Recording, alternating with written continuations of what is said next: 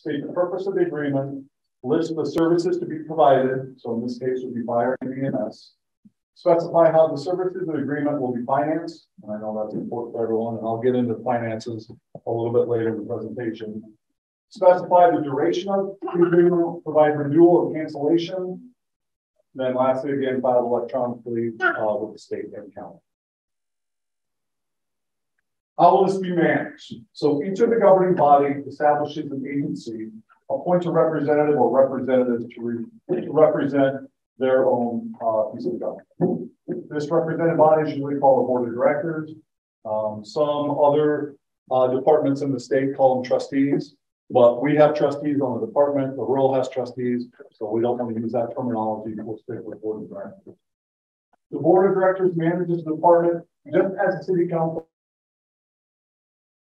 usually the board hires a part-time clerk or financial officer to manage the paperwork and finances of the agency. This person fills a function similar to a city or township clerk. How do we finance So there are a couple of disadvantages. And I don't really think they're disadvantages, but just something I want to make sure that we point out. So one disadvantage is the inability to tax their bond. So the 28E agency in and of itself cannot levy taxes. That tax money has to come from the rural and from the city. Um, just as I said, the individual government bodies will be formed. Thus, the cities and township must use their taxing authority to levy a tax to fund the agency. So very similar to how it's done now. City levies tax money, rural levies tax money. They put it together and use that to fund the department. That was what we said. Second disadvantage is 28E does not provide a method to equitably fund the agency by cities and townships. So thus it's recommended to use the Iowa cost share fund. Uh, I will go into that here in a little bit. It's not easy, um, but I will try to give you the abbreviated version of it so you kind of understand how those calculations come together. After that cost share is determined, the financing governments tax and pass the money to the agency. So the agency will manage all the funds that come in from the taxpayer. The agency develops a budget and manages its money in the same way that a city council uh, would manage the budget as it is now. So here's the Iowa cost share form. And Dave, I don't know, is this, did Oyster come up with this? Uh, I think he was okay partially responsible for that. There are a number of departments uh, throughout the state that use this formula. Um, so basically the cost share is assessed property valuation plus total calls plus population and then divided by how many ever um, body, government bodies there are. Um, so what we have done is gotten some very preliminary numbers um, to fill these in and calculate this formula. This just goes into those assumptions, population. Um, not all townships are covered 100% by West Liberty Fire Department. So we had to cancel some of those out. Falls I-80 and other areas, we excluded from the calculation because those aren't necessarily people or taxpayers in, in the area that we uh, service. So here is the cost share formula for population. And again, this is kind of a, an estimate uh, based on some information that we have collected. Um, one of the things that we're going to do if we proceed, which I hope we do proceed, is get with um, the treasurer of Muscatine County uh, and sit down with them and get actual absolute numbers so that we can calculate this. So this is just an example. This shows um, what our populations are in each of our townships. And if we look at that calculation, right now in population, the rural has about 41% and the city has 59%. So if we look at assessed value, again, here's our townships, um, the city down below. And if we look at those calculations, the rural has about 69.9% and the city 30%. Uh, all it comes to the assessed value. Total number of calls. So if we look at our rural versus city, we're almost there. Uh, we're about forty-nine point four percent in the rural and the city at fifty point six.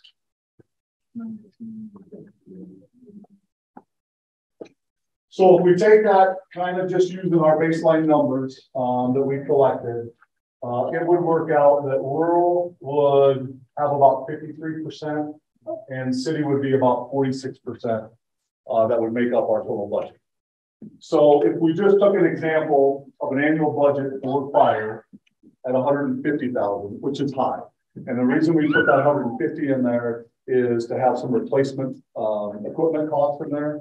But our fire budget, if you look over the last four, four to six years, probably averages around 85 to $90,000 a year. But if we use just this formula um, and use 150,000 just as a baseline, the rural would have to pay 80,000 and the city would be at roughly 70,000. So they're all very close. So there are a number of different steps uh, to form this 28 agency. I have some more detailed ones at the end, which I'll go through uh, where I put kind of the timeline together. But basically, deter determine the cities and townships to form the agency. I already know that. Cities and townships agree to informally form the agency. And that's what we're hoping to get, uh, get past this evening. Determine the method and share costs among the cities and townships agree on disposition of current vehicles, equipment, and station, determine the mayor and discipline address, uh, agree regarding makeup and proportion of board of directors, get that charter written, have the charter reviewed, uh, and then finally have that adopted by the township and the city, and then lastly with the So are some additional steps in forming that agency, um, primarily around the management of it. So we'll obtain employer identification number and EIN.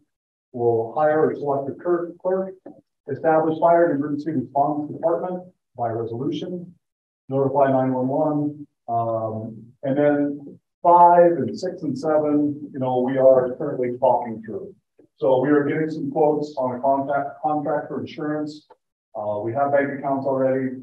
Uh, we need to determine about transfer and title of deed um, so both our vehicles and the fire station. Um, with assistance from fire and EMS volunteers, we'll have to review our standard operating guidelines, our SOGs, or our procedures. Uh, we'll have to come up with our own personnel policies and procedures. We'll contract using the 28 needs to provide protection to the townships, not part of the agency, but receiving protection from the agency. Write a budget, adopt a budget, conduct regular agency meetings, the council, and our uh, rural trustees. Think this is an important part. Um, you know, what are some of the frequently asked questions? So do the agencies meet open meeting laws and requirements and auditing requirements? Simple answer is yes. It's a government agency. We have to abide by all of that um, process, procedures, and, and uh, legislation or whatever you want to call it. Are the agency a separate agency? Yes, indeed they are. It's separate governing body. Are the agencies tax exempt? Yes, they are tax exempt. And does the agency board appoint fire chief officers and volunteers? Yes, agency board. So not the fire department, not the city, but the board that governs this 28E agency will be the ones that um, appoint.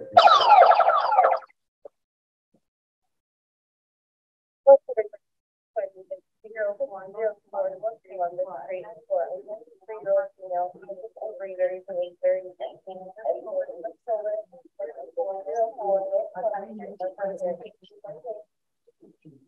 as you can see, this happens a lot.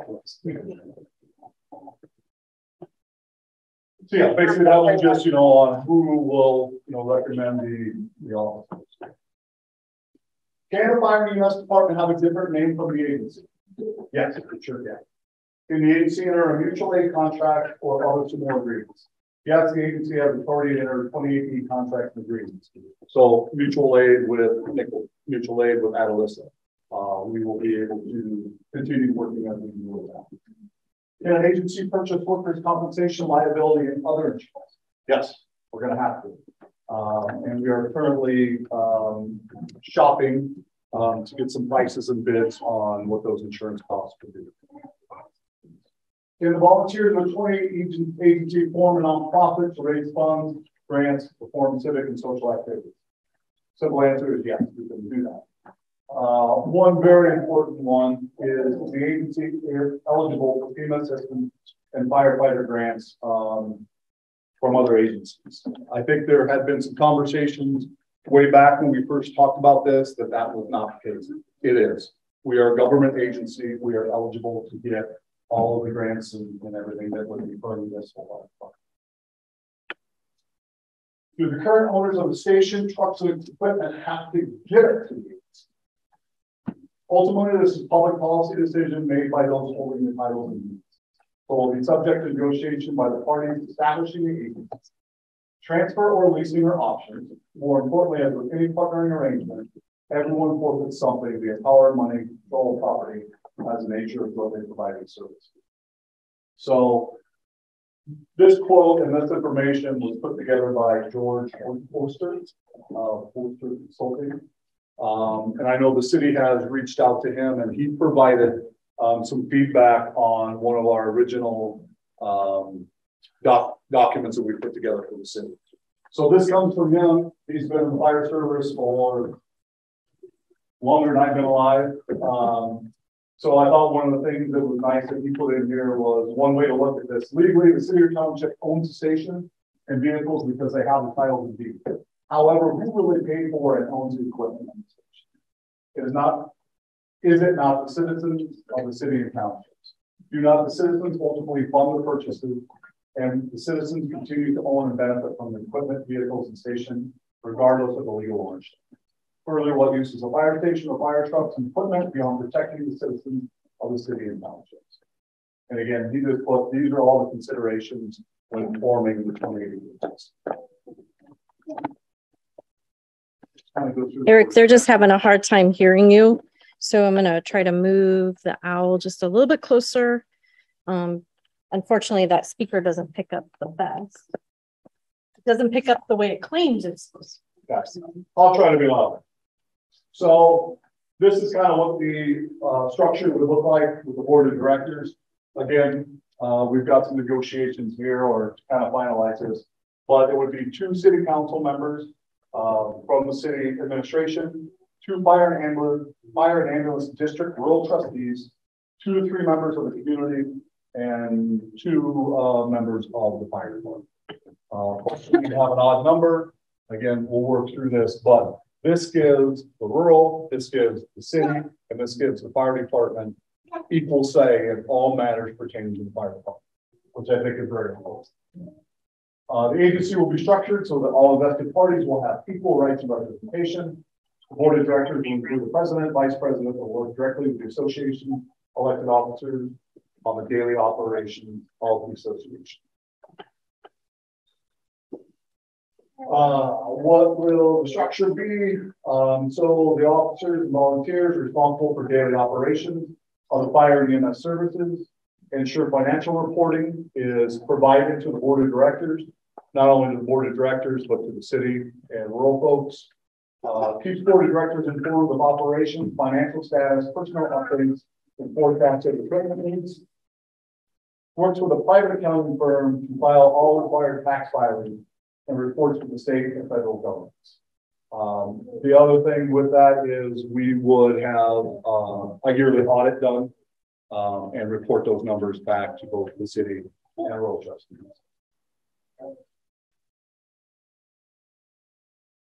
And this is just kind of a makeup um, looking at our fire funding.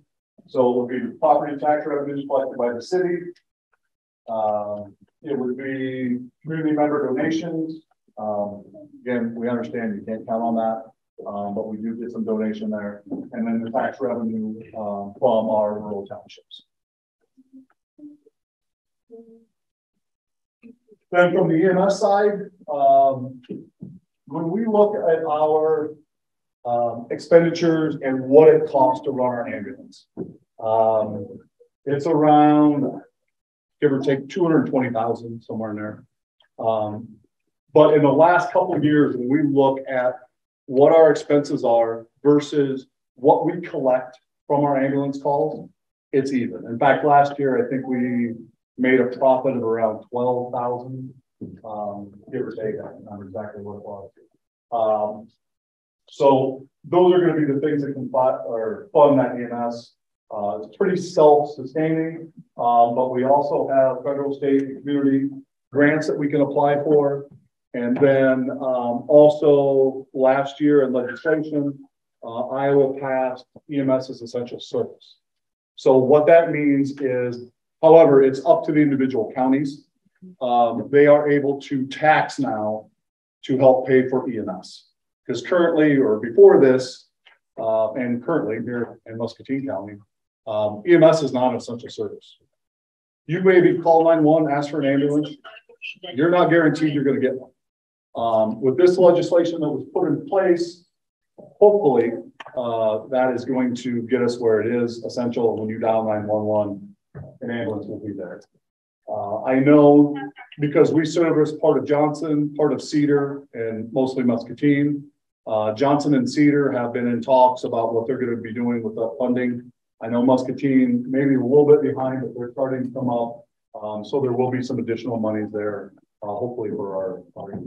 Eric, can I ask a question real quick? Yes. Uh, way back when there was discussion about sort of a hierarchy for getting that funding. for Yes. EMS, Would this, would serving the new agency impact that in any way? I don't believe so. Okay, so it's not Um, gonna like knock us off or put us at the bottom? No, Okay, no, because we are still an established okay. uh, ambulance service. Uh, and we are a transport service, Mhm. uh, where some of our surrounding communities aren't transported. So they're gonna get a little piece of the pie, um, but also the transport service should get a larger piece.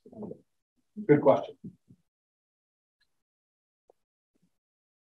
So just some of the benefits of putting this twenty-eight agency together. Uh, accountability of tax funds with all of the funds, uh, open books, having those board of directors make the decision uh, with equal representation from everyone.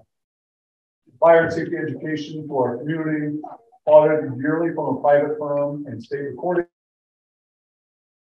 With all impacted citizens in mind, providing advanced level patient care, hiring much needed resources. Projecting needs of the future with those who know and understand uh, the fire and EMS service. And financial management of the budget with appropriate and equitable input from all the vested parties. So my next slide here. That might be hard to read from back there, but just kind of looking at our timeline. So the task force has been put together with representatives from rural, representatives from the city council, and representatives from the fire department. Have been meeting the last three or four months.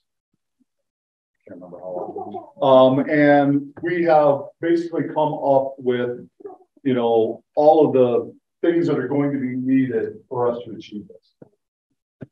So I just have a timeline here, and this is maybe an aggressive timeline, but you got to put something down. Um, so if we agree to move forward with this, uh, which I believe there'll be a vote at the October fourth meeting, uh, city council meeting. We have basically four months, um, to get some of these to-dos done.